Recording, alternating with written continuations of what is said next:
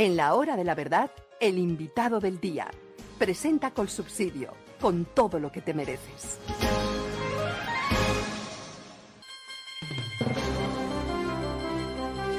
Querido amigo de esta casa, Antonio Ledesma, exalcalde de Caracas, hoy exiliado en España, muy buenos días.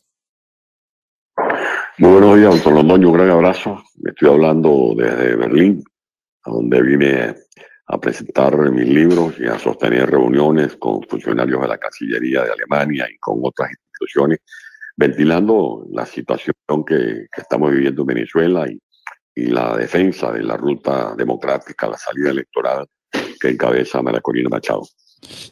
Perdón, ¿qué libro está presentando usted, don Antonio? ¿Algún libro que no conozcamos en eh, Colombia o ya está traducido? Eh, los, los, tres, los, los tres últimos libros son de dónde venimos y hacia dónde vamos, donde un resumen de la tragedia que vive Venezuela, las verdaderas causas y consecuencias, desmonto esa narrativa de que todo se está arreglando o que los problemas de falta de gasolina, los apagones, la crisis de los servicios, la hambruna es consecuencia de las sanciones, cosa que es absolutamente falsa, nada tiene que ver las sanciones con este desmantelamiento de las instituciones y la quiebra de, las industrias del país, especialmente la industria petrolera.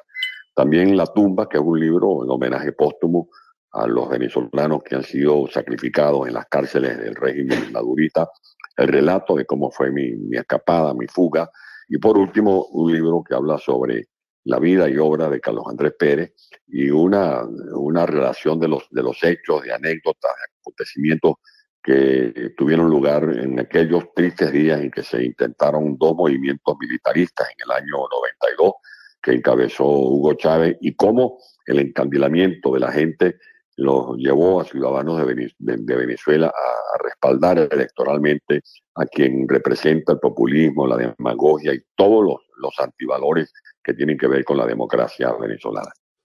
Aquí en Colombia están eh, en circulación y en venta los libros suyos, don Antonio ¿Se pueden conseguir en las librerías o por Amazon? ¿Por dónde?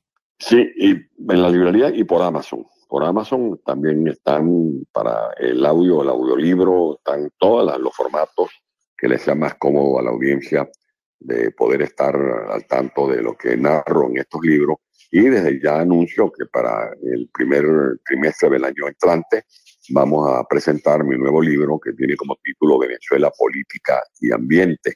No me quiero comparar con Rómulo Betancourt, por supuesto, eh, no tengo esas veleidades, pero Rómulo Betancourt en el exilio escribió Venezuela, Política y Petróleo. Yo me he atrevido, eh, tomándole eh, esta referencia al expresidente fundador de la democracia de Venezuela, Rómulo Betancourt, a hacer un libro que hable de la Venezuela, de la política y del ambiente que es una materia de mucha actualidad y que reclama la visión y la contemplación y la opinión de todos los que tenemos algún compromiso de lucha con la sociedad, no solo de Venezuela, sino de nuestro hemisferio y del mundo en general. Bueno, don Antonio, el mundo está sacudido con la noticia de la liberación de Alex Saab y de su llegada a Venezuela y de su ingreso al Palacio de los Presidentes como si fuera un héroe que viene de un eh, exilio y de, una persecución atroz y que esto es la libertad de Venezuela, así nos lo propone Nicolás Maduro. Cuéntenos por qué es tan importante Alex, A. ¿Por qué? Bueno, porque, porque Alex A es el testaferro de oro de Maduro. Alex A es el que tiene los códigos de las cuentas, es el que manejaba la triangulación del oro que se sacaba o se saca del arco minero en Venezuela, lo llevaban a Maiquetía, en, camiones que eran escoltados por efectivos del régimen, lo montaban en un avión en Maiquetía, en el aeropuerto internacional Simón Bolívar, de allí lo mandaban a Turquía y Turquía triangulaban ese oro en los países árabes. Pero también es el que venía manejando toda la economía oscura del régimen y de factores que son aliados al régimen. Esa triangulación financiera que se hacía desde Turquía, Rusia, eh, Panamá, Hong Kong, todo eso lo tiene eh, como llave de oro eh, Alexa y por eso más que al amigo, eh, más que a un supuesto diplomático, que el diplomático no tiene absolutamente nada, Maduro está rescatando al que le tiene las cuentas a toda esa pandilla de la mafia venezolana y lo reciben tal cual como reciben los capos a los miembros de sus mafias. Esto es lo mismo que vemos cuando el cartel de Jalisco, el cartel de Sinaloa rescata a uno de sus capos. Y fue la misma imagen que vimos cuando rescataron al pollo Carvajal. No nos olvidemos que igualito fue Gilia eh, Flores a recibir al aeropuerto de Mequetía al pollo Carvajal cuando lo rescataron, lo presentaron como héroe en un acto que estaban celebrando en el Teatro Teresa Carreño. Y vean ustedes cómo terminó el pollo Carvajal, ahora está eh, siendo procesado en los Estados Unidos, terminó cuestionando esa falsa revolución. Y los Estados Unidos lo que ha hecho es entregar un bagazo, porque ya a Alexa lo exprimieron, le sacaron toda la información que querían obtener los cuerpos de inteligencia de los Estados Unidos. Y a cambio de eso Estados Unidos, el gobierno de Estados Unidos, logra la libertad de ciudadanos de origen estadounidense. Y a cambio de este bagazo en Venezuela, bueno, por lo menos hoy están en su familia venezolanos decentes, gente decente, que jamás ha debido estar privado ni siquiera un segundo de su sagrada libertad. El bagazo lo llama usted y estamos seguros de que Alex Saab ya contó todo lo que sabía y que ya mostró todas las claves y que ya se conoce exactamente dónde está la inmensa cantidad de dinero que tenían los llamados boliburgueses o no sé cómo los llamen ahora, esos sujetos que están, estuvieron al lado de Chávez y ahora al lado de Nicolás Maduro. ¿Usted está seguro de que esas revelaciones ya se hicieron? Es la información que recojo por aquí y por allá. Uno va atando las piezas, va armando el rompecabezas pero incluso algunos voceros que he podido escuchar, voceros de Estados Unidos han dicho que ya ellos tienen información que necesitaban. Y por eso lo que están estrenando es un personaje que va a tranquilizar la angustia de Maduro, que no es, la angustia de Maduro no es si los niños están nutridos, la angustia y la preocupación de Maduro no es si los hospitales no tienen equipos de rayos X, no tienen equipos para hacer tomografía, la angustia de Maduro no es saber si los venezolanos comen completos, si desayunan, si almuerzan, si cenan. La angustia de Maduro no es de que los niños en las escuelas mejoren su promedio, mejoren su rendimiento, de, que los educadores tengan un mejor salario. La angustia de Maduro era que Alex regresara y lo pusiera en cuenta de eh, todos los activos que él le viene administrando. Eso es lo que se, se comenta y es la información que logró acopiar eh, Roberto Denis, entre otros, el que dirige el portal de Armando Info. Allá están en detalle todas las operaciones que comenzó a hacer en Venezuela, en Ecuador, eh, en, Italia y en otras partes del mundo, este oscuro personaje que eh, por lo menos ahora tranquiliza a Maduro y a lo mejor Maduro termina facilitando realmente la cuenta, la, la vía, la ruta electoral, porque ya pensará que al salir del poder tendrá por lo menos algunos activos bajo su custodia, sin, sin, sin reparar quizás un nubilado que este tipo de delitos y de crímenes no prescriben y que esté donde esté y sea cuando sea, de alguna manera le va a llegar la mano larga de la justicia, tanto nacional como internacional. Pero entonces, contra lo que hemos dicho, eh, sí tiene Alex Saab todavía secretos en su poder que no le han sacado los investigadores en Venezuela. Entonces. Mm, bueno, yo creo que los, no, todo es bagazo. Bueno, por, para, Maduro, para Maduro no. Para Maduro, eh, ese personaje al que vaciaron de todas las informaciones que tenía bajo su control, quizás preserve los, los códigos de todas esas operaciones financieras que triangulaba. Para Maduro es su testaferro eh, de oro, como lo he calificado, porque de una u otra manera ese es el personaje que venía manejando todas esas fortunas malavidas eh, que dan cuenta de cómo fue saqueado un país, el saqueo de un país que era riquísimo y que ahora tiene la gente viviendo en la pobreza y en la miseria. Y no lo dijo usted, pero que ha sacado del país a más de 7 millones de venezolanos, ¿no? Eso es un, país entero. Se queda corto, se queda corto, se queda corto, don Londoño. La última información que estoy recibiendo del Observatorio de la Diáspora de Venezuela, estamos hablando ya de más de 8 millones 200 mil venezolanos. Ese es un número que deja atrás a la población de más de 140 países del mundo. Si usted revisa cuál es la población, por ejemplo, de Noruega, se podrá confirmar que la población de Noruega está por debajo del número de la diáspora de esos venezolanos que tienen incluso que atreverse a transitar por la selva de Darién o meterse por las trochas, asumiendo todo tipo de riesgo con los grupos irregulares que allí controlan esas vías, para escapar de la tragedia que ha causado Nicolás Maduro, entre otros la hambruna de este personaje tan siniestro que mm, se instaló en Venezuela, que le han dado el rango de diplomático y que era, entre otras cosas, el que hacía las compraventas de los alimentos con sobreprecio y de muy mala calidad.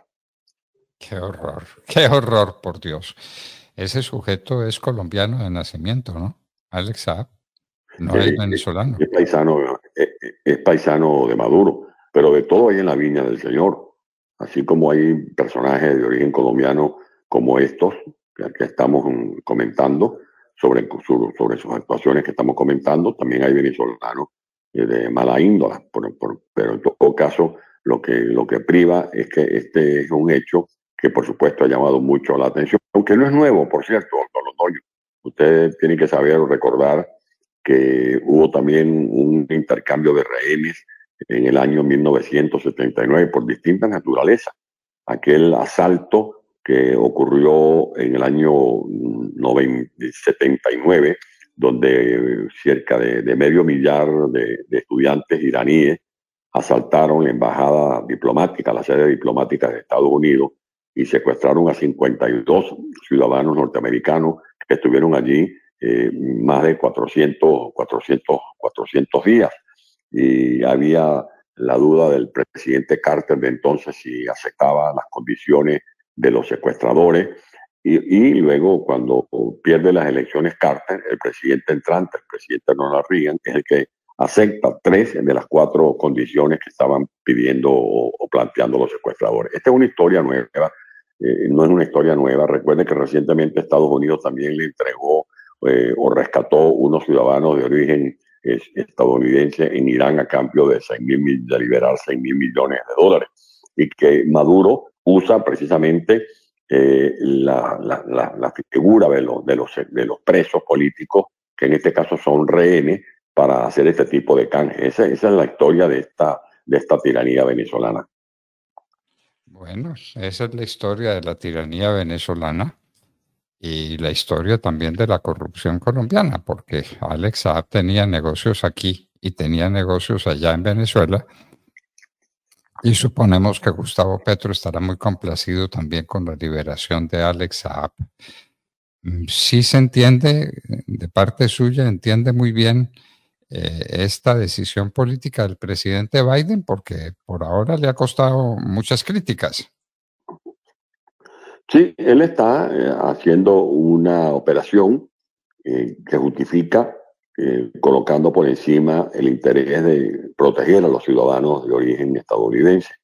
Y en el caso de Venezuela, más allá de los cuestionamientos que uno puede hacer este tipo de, operaciones, hoy venezolanos decentes como Roberto Abdul, como los dirigentes sindicales, allí hay amigos personales, allí hay paisanos de mi pueblo, de San Juan de los Morros, eh, están libres. Ellos nunca han debido estar presos, jamás han debido estar presos. Eh, y siguen presos, por ejemplo, Javier Tarazona, yo amanecí hoy colocando en mis redes mi, respaldo moral a Javier Tarazona, que es aquel joven eh, abogado venezolano que denunció con documentos y presentó las pruebas de cómo se han venido instalando campamentos del Ejército de Liberación Nacional en territorio venezolano. Esa es la lucha que tenemos que seguir dando y es la lucha que mantiene muy firme María Corina Machado, eh, superando todo tipo de, obstáculos, porque esta es, esto es un maratón eh, en el que hay que superar todo tipo de obstáculos para llegar a esa fecha que todos estamos reclamando, que haga posible que en Venezuela podamos dejar o pasar la página de esta triste o oscura tiranía para que inauguremos una, una, un ciclo de verdadera libertad y democracia en mi país. ¿Y usted sí cree que a María Corina le permitan presentarse como candidata a la presidencia compitiendo con Nicolás Maduro? ¿O harán lo que tengan que hacer, lo que tengan que hacer para impedir que María Corina represente la inmensa mayoría del pueblo venezolano que quiere otro destino para su país? ¿Qué pasará? María Corina tiene más de 20 años resistiendo no la han doblegado, se ha mantenido muy firme.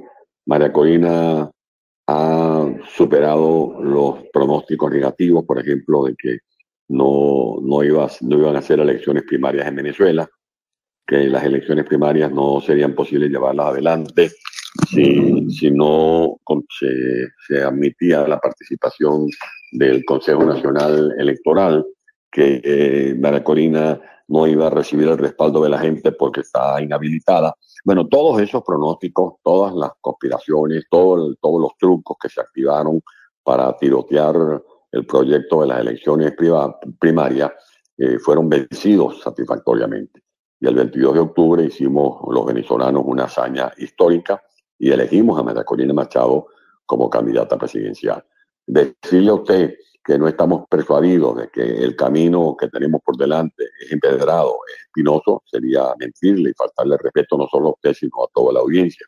Y la primera, que reconoce que esta ruta está llena de todo tipo de emboscadas y de dificultades, es María Corina Machado. Por eso, la lucha no es solo de, de, ella, es de todos. Los venezolanos estamos comprometidos con ella, pero hay que acompañarla y asistirla para darle fuerza, para darle apoyo moral y para que pueda llegar a esa meta a la que le tenemos el ojo puesto, que es hacer elecciones libres y soberanas, para que podamos salir de esta tragedia por la vía pacífica, que es el, el, anhelo ya de la mayoría de los venezolanos y es la recomendación que nos han venido dando eh, distintos voceros de la comunidad internacional a la que apelamos, porque nosotros no dejamos de confesar sin ningún tipo de falso orgullo que solo no podemos, porque estamos luchando con una mafia muy peligrosa, con un animal herido, pero muy peligroso, capaz de cualquier desafuero. Eh, permítame una cariñosa protesta, pero usted dijo que todos los venezolanos estaban con María Corina Machado. No nos excluya a los colombianos. Los colombianos también estamos, claro, porque queremos una Venezuela libre, una Venezuela decente, una Venezuela democrática, una Venezuela que sea el país hermano nuestro. Y eso es posible con María Corina Machado. De otra manera, no creemos que haya camino.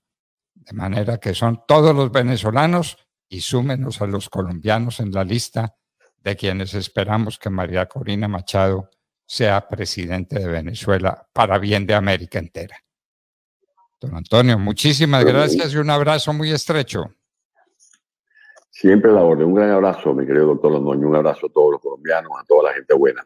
Y seguimos adelante. Arriba, corazones. Arriba, corazones. Antonio Ledesma, exalcalde de Caracas, nos estaba haciendo esta espléndida explicación de la liberación de Alex Saab, que es el hecho político más importante de la región en mucho tiempo. Alex Saab liberado, el colombiano venezolano recibido como un héroe en Caracas cuando es un delincuente y un delincuente de baja estofa. Vamos a ver qué pasa